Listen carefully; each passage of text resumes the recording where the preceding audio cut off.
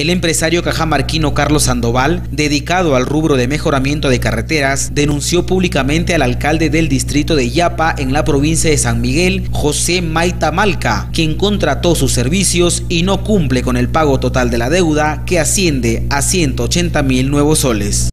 El señor nos contrató para hacer el mejoramiento de varias carreteras de accesos hacia el Yapa.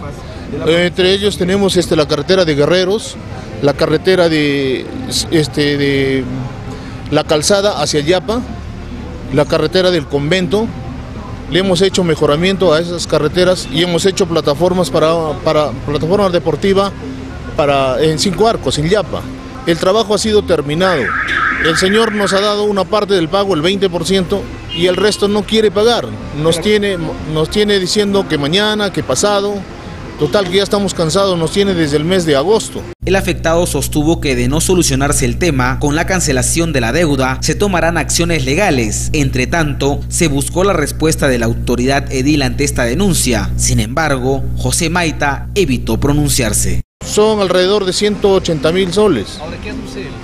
Él aduce de que todavía van a cuadrar cuentas, que aduce que no hay dinero, pero el trabajo nosotros ya lo hemos terminado. No sé qué es lo que pasa con el señor. Parece que no nos quiere pagar porque ya nos tiene engañándonos una vez, otra vez y así. Siempre encuentra una evasiva para, para que nosotros este, dejemos de conversar con él.